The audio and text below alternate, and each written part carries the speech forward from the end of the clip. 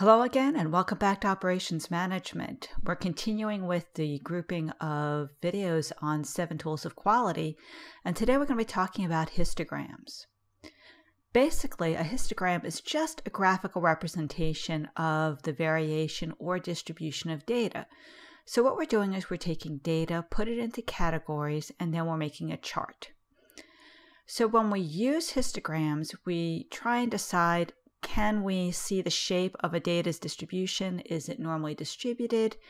Uh, is there any kind of bias or skewness to it?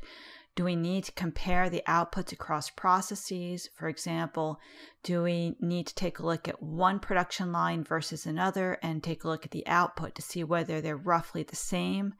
Another thing about histograms is all the data on them must be numerical. We can't use anything like colors or people or things like that. What we want to do is take a look at numerical data and we want to see, once it's categorized, the shape of that data. So here's a sample histogram for a call center. And as you can see across the bottom, we've got categories of the numbers of minutes on hold 0 to 1, 1 to 2, 2 to 3, and so forth. And then on the y axis, we are showing the number of customers willing to wait for those particular minutes. And now you can see that this is roughly a normally distributed uh, distribution of data because it's roughly bell shaped with the peak in the center. And as you can see, all of these bars are right next to each other. We've categorized the data so that we're checking between one and two minutes, two and three minutes, three and four, and we're just checking to see the frequency for each of these categories. So in other words, it's also like graphically representing a frequency distribution. So when we look at a histogram, we notice that the shape of the data provides insight into the process producing the data. A bell curve is going to show a normal distribution. If we have a tail to the right or left, that indicates some kind of skewness to the data. If we end up with a rectangular shape, it indicates that there's a uniform distribution. So by looking at the distribution of the data, we have a sense for what kind of process we have.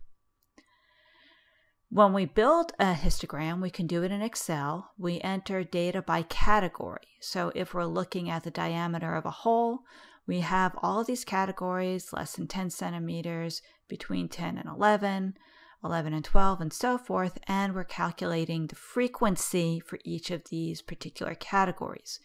Notice none of these categories will overlap so that they are distinct one from another.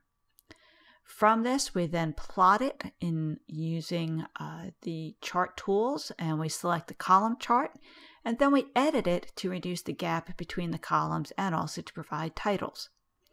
So creating a histogram is fairly simple. We are actually taking a frequency distribution of data, we're graphing it to see the shape of it. Next time we'll be talking about another tool. I'll see you then.